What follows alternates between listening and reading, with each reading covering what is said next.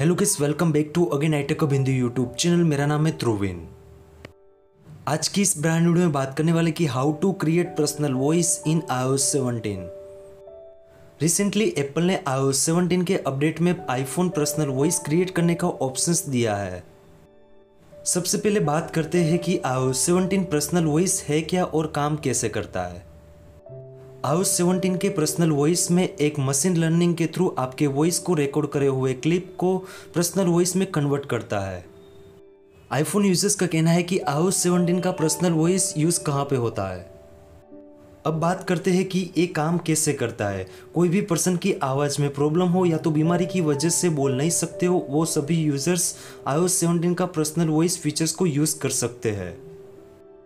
तो आज की इस वीडियो में बात करने वाले कि how to create personal voice in iOS 17 on iPhone and iPad iOS 17 का पर्सनल वॉइस को क्रिएट करने से पहले आपको अपने आईफोन को iOS 17 से अपडेट कर लेना होगा।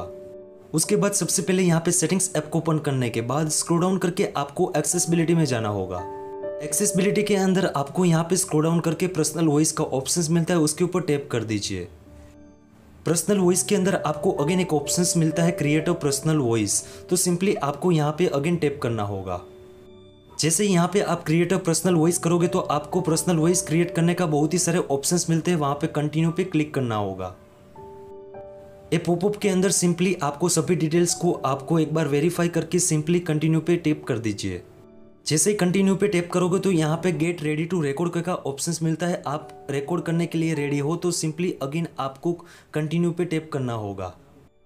उसके बाद यहाँ पे आपको क्रिएट वॉइस करके ऑप्शंस मिलता है। वहाँ पे आपको जो वॉइस आपने क्रिएट किया है, उसका नाम क्या रखना होगा, वो आपको यहाँ पे एंटर करने के बाद अगेन कंटिन्यू पे क्लिक करना होगा।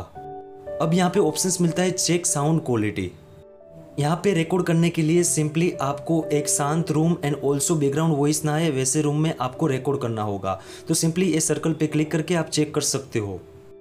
यहाँ पे अगेन आपको एक रिकॉर्डिंग कंसिडरेशन करके एक ऑप्शंस मिलता है, वहाँ पे बैकग्राउंड नॉइस का ऑप्शंस मिलता है। मान लो आप शांत रूम में रिकॉर्ड कर रहे हो बट स्टिल ये ऑप्शंस आता है तो यहाँ से आपको प्ले करके चेक कर लेना का सही होगा तो सिंपली अगेन आपको कंटिन्यू पे टैप करना है। आपका रिकॉर्डिंग कंप्लीट हो चुका है तो आपको यहाँ पे रीड द फेस करके एक ऑप्शन मिलता है, जो आपके वॉइस को टेक्स्ट में कन्वर्ट करता है। तो यहाँ पे आपको जो रिकॉर्ड किया है, वो सभी को चेक कर लेना होगा कि आपने जो रिकॉर्ड किया है, वो सही किया है। आपको लग रहा है कि आपने सही रिकॉर्ड किया है तो आपको लेफ़्ट हैंड साइड कॉर्नर पे डन आइकॉन मिलता है, उसके ऊपर क्लिक कर दीजिए। यहाँ पे वॉइस को क्रिएट करने से लेके आपने कौन सा वॉइस को रिकॉर्ड किया है, वो सभी चीज़ को यहाँ से प्रोसेस डन होता है।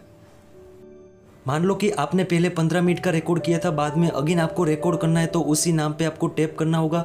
वहाँ पे आपको फेस आईडी टच आईडी पूछा जाएगा ऑथेंटिक के बाद अगेन आपको कंटिन्यू रिकॉर्डिंग पे क्लिक करना होगा। उसी के साथ साथ यहाँ पे आपको export voice recordings and also delete voice का ऑप्शंस भी मिल जाता है। इस तरह से आप अपने आईफोन के अंदर iOS 17 को अपडेट करने के बाद पर्सनल वॉइस को क्रिएट कर सकते हो। आई होप आपको वीडियो पसंद आए तो प्लीज़ लाइक कमेंट से सब्सक्राइब आपके फ्रेंड को भी शेयर कर देना ताकि ऐसे अमेजिंग फीचर्स के बारे में आपके फ्रेंड को भी पता चले। Thank you so much take care bye